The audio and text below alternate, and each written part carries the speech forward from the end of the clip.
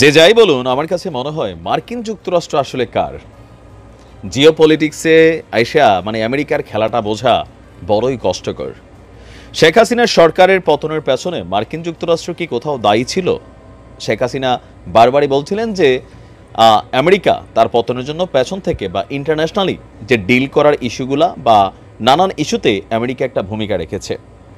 এখন America already Sheikh হাসিনার কাছে শত্রু। মিত্র শক্তি হিসাবে কিছুটা কানেক্টেড ছিল বিএনপির সাথে। আর ডক্টর ইউনুসের ইস্যুতে আমেরিকা তো বরাবরই উদারপন্থী দেখেছি। তবে গতকালকে যেই সিদ্ধান্তটা জারি করেছে আমেরিকা, এইটা এই মুহূর্তে বাংলাদেশের যেমন মান সম্মান নষ্ট করল কিছুটা, ডক্টর ইউনুস সাহেবেরও কিছুটা ভাবমূর্তি নষ্ট হয়েছে। এটা আমার কাছে মনে হয় যে আমেরিকা আসলে কোন জায়গায় যে কি খেলে সেটা বোঝা একটু কষ্টকর। দেখেন বাংলাদেশে এই মুহূর্তে কি এমন হয়ে গেছে? মানে রাইট নাও আমরা ধরতে পারি পাঁচ এবং ছয়ই আগস্ট অনেক কিছু হয়েছে। কিন্তু এরপরে এমন কোনো সিচুয়েশন তৈরি হয় নাই বাংলাদেশে যে আমেরিকা বাংলাদেশকে লাল তালিকায় নিয়ে ফালাই দিছে। ইভেন পরামর্শ দিছে কি, ভ্রমণ যেন এই মুহূর্তে বাংলাদেশ না করে। এতে কি কি হচ্ছে? বেশ কিছু ক্ষতি আমাদের বাংলাদেশের হচ্ছে, ডক্টর ইউনুসের হচ্ছে। নাম্বার ওয়ান ইউনুস সাহেব রাষ্ট্র ক্ষমতায় বসলেন মাত্র। অন্তর্বর্তীকালীন একটা সরকার। পশ্চিমা বিশ্বের কাছে একটা পজিটিভ ফিডব্যাক তিনি দাঁড়ানো যদি পারেন দেন তার জন্য পশ্চিমার একটা সাপোর্ট থাকবে। আমরা যদি দেখি, আপনার ধরেন বিশ্বব্যাংক থেকে শুরু করে আরও যে বিভিন্ন ইনভেস্টরগুলো বাংলাদেশে তারা ইনভেস্ট করার ব্যাপারে বা ঋণের ব্যাপারে, বিনিয়োগ করার ব্যাপারে চিন্তা ভাবনা করতো, মার্কিন যুক্তরাষ্ট্র যখন বাংলাদেশকে লাল তালিকায় ফেলায়, সেইখানে এটা একটা ইফেক্ট তৈরি হবে। ডক্টর ইউনুসের সরকার তো আর পকেট থেকে টাকা দিয়ে রাষ্ট্রকে সংস্কার করবে না বা অর্থনীতিকে পুনরুদ্ধার করবে না এই যে দুই লক্ষ কোটি টাকার উপরে পাচার হয়েছে। সো এখানে দরকার ছিল কি? নতুন করে বিনিয়োগ। এখন আমেরিকা যখন লাল তালিকায় ফেলায়, সেই ক্ষেত্রে ডক্টর ইউনুস সাহেব যত দ্রুত কাজগুলো করতে পারতেন, সেই কারণে কিন্তু একটা তার জন্য বাধা তৈরি হচ্ছে।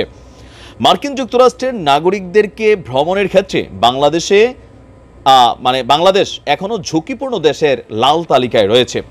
তালিকায় বাংলাদেশ ছাড়া আরও বিশটি দেশ আছে।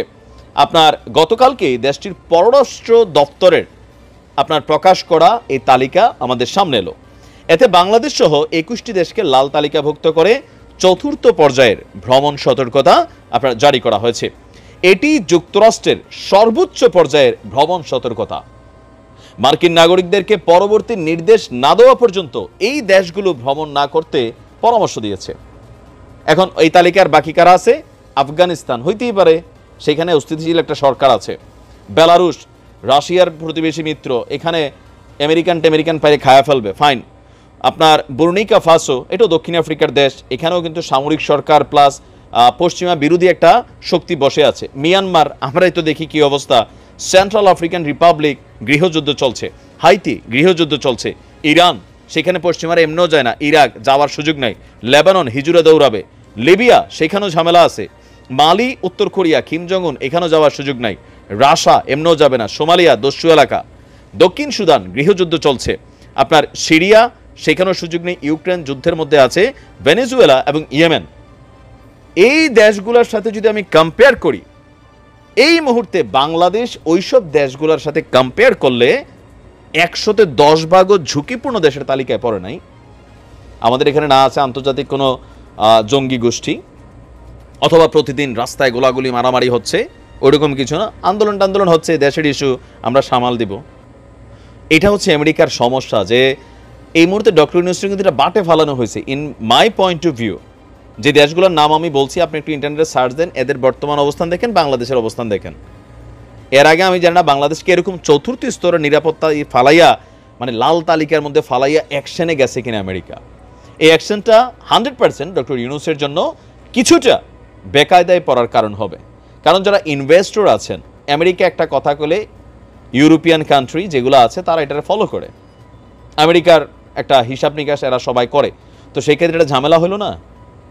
আমেরিকা আসলে কি চায়, তলে তলে কি চাচ্ছে ডক্টর ইউনুস সাহেবের কাছে, সেটাও একটা কঠিন বিষয় বোঝার। দেখা যাক, আসতেছে ডোনাল্ড লুটু সহ এই কুফু আসলে এই দেশে একটা না একটা ঘটনা ঘটে। দেখা যাক কি ঘটে হ্যাঁ? ভালো থাকুন।